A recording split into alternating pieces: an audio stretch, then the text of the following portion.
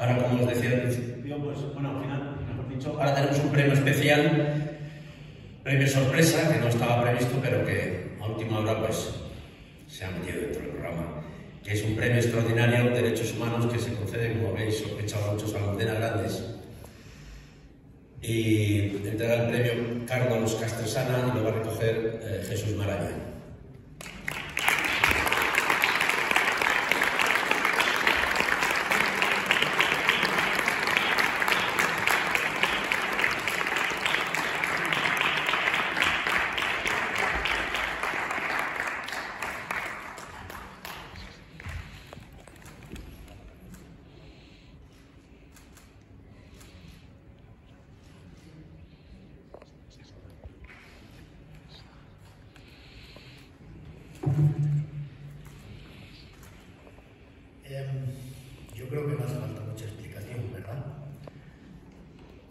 Este no es un premio literario, es un premio de derechos humanos y por lo tanto se concede a la almudena ciudadana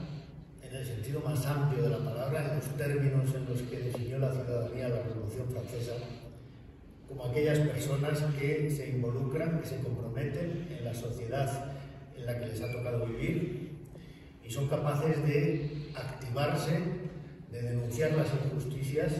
de solidarizarse con los desfavorecidos y de asumir el coste que esa posición pública, coherente, sostenida durante muchísimos años siempre representa. Porque como bien decía ella Curia, no lucharemos por la justicia sin pagar un precio por ello. Almudena pagó el suyo, pero queremos reconocer y agradecer como Asociación por los Derechos Humanos que nos devolviera la memoria, nos ayudase a enderezar la historia que se ha escrito tan torcida de España, especialmente la de la Segunda República, que se ha presentado como un régimen totalitario cuando era todo lo contrario,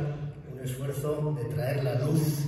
eh, y de sacar a nuestro país de la oscuridad después de siglos de opresión. Y Almudena tuvo una voz alta y clara para reivindicar lo que de positivo tuvo, lo que de extraordinariamente positivo tuvo la Segunda República. Y de la misma manera me parece que hay algo que es innegable, que tenemos que reconocer, que tenemos que agradecer, y es por eso que hemos improvisado este premio, porque se nos ha ido demasiado pronto y no hemos tenido oportunidad de decírselo a ella personalmente, el mérito extraordinario que una sociedad democrática representa, siendo un personaje público, darle voz a los sin voz,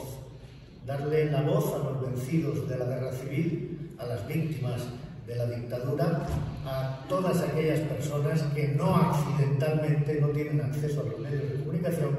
Almudena lo tenía y Almudena aprovechó, no para su provecho personal, sino para dar voz a aquellos que no tenían acceso a los medios a erigirse en su portavoz. Me parece que es una actitud ciudadana ejemplar que por eso hemos querido, por unanimidad de la Junta Directiva, premiar en el día de hoy. Muchas gracias.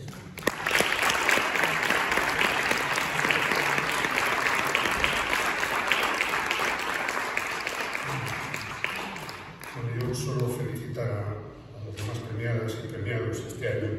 por su contribución a la defensa de los derechos humanos en distintos ámbitos y felicitar a la Asociación por Derechos Humanos por este gesto, por este homenaje a Almudena Grandes, eh, solo unos días después de haber asistido a la mezquindad y el sectarismo con el que han actuado algunas autoridades políticas en Madrid. Eh, dentro de unos cuantos años, eh, creo que nadie recordará el nombre de quien era alcalde de Madrid en 2021 o presidenta de la comunidad, pero seguro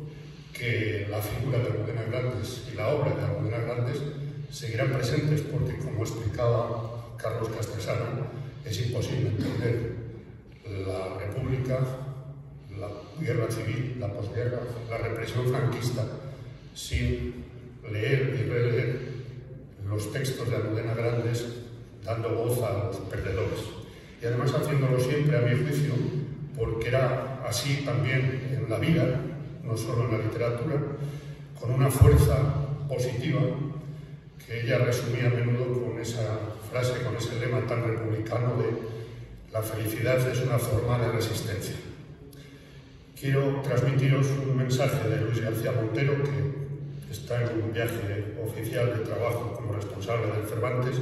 y me pide que os diga lo siguiente. Los derechos humanos son la mejor guía en los momentos calmados o crueles de la historia. Almudena Grandes tuvo siempre un compromiso claro con los derechos humanos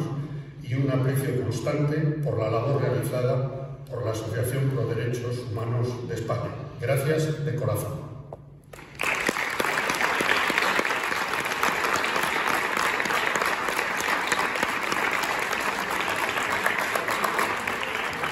Bueno, pues Con estas palabras termina el acto. Muchísimas gracias a todos por haber asistido. Muchas gracias a la asociación por existir y por su labor durante todos estos años. Ah, bueno, pues dice que clausura él, pues te lo agradezco mucho.